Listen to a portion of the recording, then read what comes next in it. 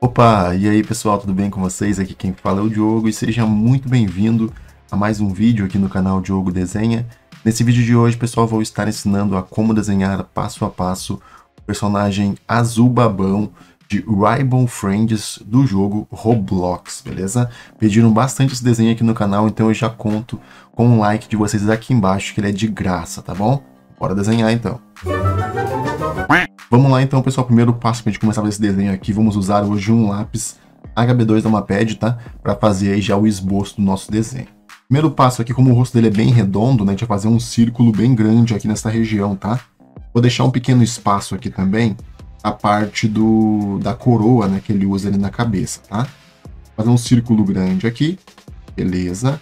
Sempre me perguntam, tenho dúvidas aí, né? De como eu faço um círculo, né, pessoal? É bem simples, tá? Ao invés de você fazer o círculo desta forma assim, ó, traço por traço, você pode fazer ele diretamente assim, ó. Aí não vai ter erro, tá? Depois você vai apagando ali as partes, né, que você achar que não precisa ir no desenho, tá? Vou colocando o círculo assim que vai ficar bem mais fácil de fazer o círculo de vocês. Vou colocar uma linha bem no meio aqui também. Certo? Linha no meio para a gente dividir, né? Lado esquerdo, lado direito, certo? Vamos colocar também uma linha nesta parte de cá, ó a gente poder fazer a parte de baixo né, dos olhos dele, tá? E logo em cima aqui a gente já faz a parte de cima dos olhos também, tá bom? Feito isso, então, a gente já tem as divisórias prontas aqui, né? Vamos colocar primeiro o círculo nesse lado de cá. É um círculo grande, tá? O olho dele é bem grande, né? Primeiro círculo aqui. Segundo círculo nesse outro lado aqui também. Vocês podem notar que os olhos dele são bem coladinhos aqui, né? Com os cantos do rosto, tá? Geralmente os olhos são mais, mais próximos um do outro, né?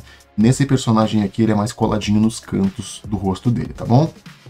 Feito isso então, a gente vai agora retocar um pouquinho mais, ó.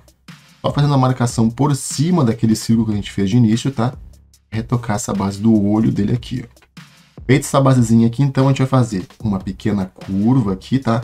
Só que eu não vou fazer uma curva completa, tá? Vou fazer ela com alguns tracinhos assim, para dar um um destaquezinho aqui nessa partezinha tá, do desenho. Então a gente vai fazendo algumas linhas mais soltinhas assim mesmo, tá? Mas sempre nessa forma aqui mais ondulada, tá? Feito isso, então a gente faz uma linha nesta base aqui, para fazer a partezinha ali da costura do olho, tá? Fez uma curva nesse lado de cá, ó, a gente vai trazer a linha aqui para baixo. Aqui a gente vai fazer uma nova curva também, tá? Porque é como se fosse um botão ali que tem no olho dele, né? Aqui a gente vai fazer uma nova curva de novo, tá? Nesse lado aqui.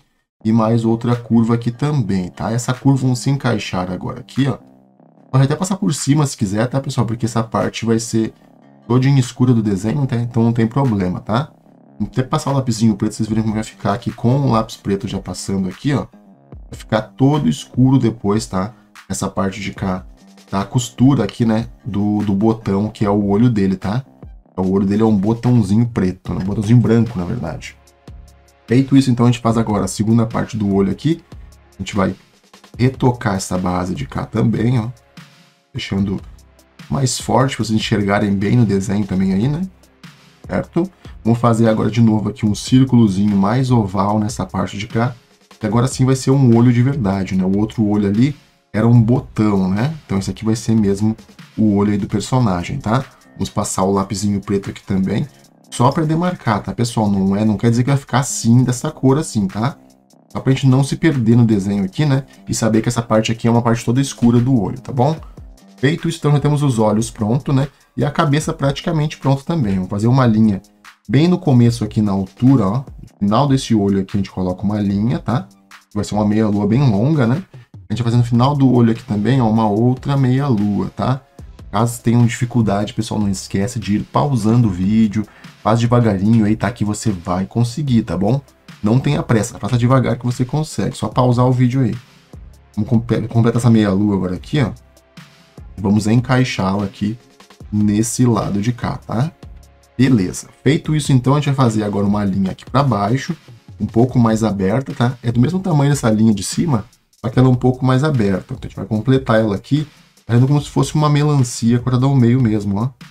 Bem nesse estilo, tá? Vamos encaixar aqui. Beleza, temos a parte da boca. Só que tem que ter aquela pequena baba, né? Então a gente vai fazer primeiro uma linha aqui, ó.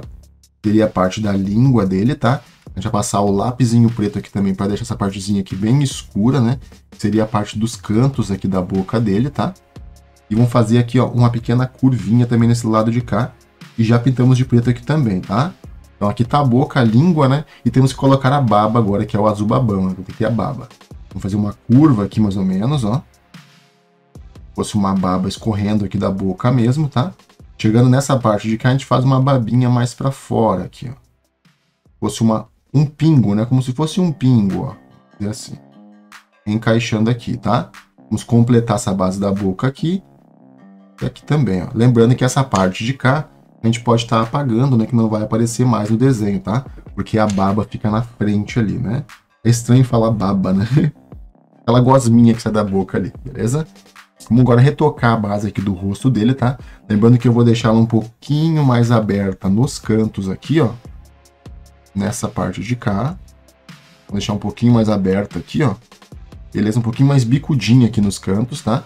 No lado de cá também, a gente vai deixar um pouco mais bicuda, ó. Essa partezinha aqui, tá? Já é o normal mesmo do desenho, né? Aqui por baixo, beleza. Essa parte de cá a gente pode agora até subir um pouquinho mais, ó fazendo o formato mais arredondado mesmo da cabeça, tá? Somente nessa partezinha dos cantinhos aqui, né? E aqui que a gente deixa um pouquinho mais bicudo, tá? Eu falo bicudo, né? Mas é um pouquinho mais... É, é bicudo mesmo, ó. Um pouquinho umas pontinhas ali, né? Vamos fechar essa partezinha de cada rosto, então. A base da boca aqui, ó. E vamos completar essa partezinha até aqui assim, tá? Lembrando que a gente pode estar tá apagando também essa parte de dentro aqui da baba, né? Vai ficar mais ou menos assim a parte do rosto dele, tá? Feito isso, então, a gente vai fazer agora a parte do corpo, que também é bem simplesinha de fazer, tá? Eu não vou fazer tanto foco na parte na base do corpo assim, mas é só uma pequena descida aqui, ó. Beleza? E uma pequena descida também nessa parte de cá, ó, na mesma altura, tá? Descendo aqui. Não tem muito mistério na nossa base do corpo dele, né? Vamos colocar mais uma linha aqui e mais outra linha também, tá? O foco maior mesmo é na base do rosto aí do personagem. Deixamos um espacinho aqui em cima para a parte da coroa, tá? na altura aqui ó, do meio desse olho, tá? Vamos colocar uma linha aqui. E na altura do meio deste olho também vamos colocar uma outra linha, tá? Essa linha vai ser certinho o tamanho aqui da, da coroa. Aqui ela é um pouquinho pro lado de cá, ó. Faz uma camada aqui, tá? Na mesma linha, ó. Fazemos uma outra camada também. Beleza. Deixamos ela um pouquinho grande, tá? Um pouquinho maior aqui, ó. Vamos fazer agora uma linha para esse lado de cá. Beleza mais uma linha para cá também, como se fossem dois Vs ao contrário, tá? Vamos fazer um encaixe aqui para cima, Beleza, o meio da linha aqui, né? A gente vai trazendo do meio até chegar no final ali, tá? Mais ou menos assim, ó. A gente pode dar uma pequena arredondadinha nessas pontas para deixar o desenho mais estiloso, tá? A gente pode dar uma pequena arredondadinha aqui e mais uma pequena arredondadinha também nessa parte de cá, ó. Ela ficar tão bicudo, né? Assim a parte aí do, da coroa dele, tá? Completando aqui. E beleza, pessoal. Assim o nosso desenho já vai estar tá praticamente finalizado, tá? O que eu vou fazer agora, pessoal? Vou usar a minha canetinha nanquinha aqui, tá? Para fazer todo o contorno desse desenho. Essa canetinha aqui é uma Unipin ponta .08. Caso vocês não tenham uma canetinha para fazer o contorno aqui, você pode usar uma canetinha esferográfica de cor preta, como essa daqui, tá? Canetinha Bic, para fazer o contorno. Só cuida para não borrar o desenho, tá? A canetinha ela borra bastante, né? Depois de fazer toda essa parte da arte final, eu vou estar colorindo esse desenho aqui para vocês, tá bom? Não esquece, pessoal, se você gostou do conteúdo, tá? Deixa o likezinho aqui embaixo, que ele é muito importante, né? Para que eu possa continuar gravando vídeos assim, tá? Não esquece também de se inscrever no canal e de ativar o sininho aí, para você não perder os próximos vídeos, beleza? Muito obrigado pelo carinho de sempre. Lembrando que aqui embaixo na descrição, primeiro link, eu sempre deixo o link de um curso de desenho que eu comprei recentemente e está me ajudando muito aqui no canal. Eu tenho certeza que esse curso de desenho, para você que quer investir no desenho e quer desenhar do zero, vai te ajudar bastante, tá? Dá uma olhadinha aqui embaixo na descrição, primeiro link, curso de desenho, muito, muito bom, que eu recomendo muito aí para vocês. Forte abraço e até o próximo vídeo. Fui!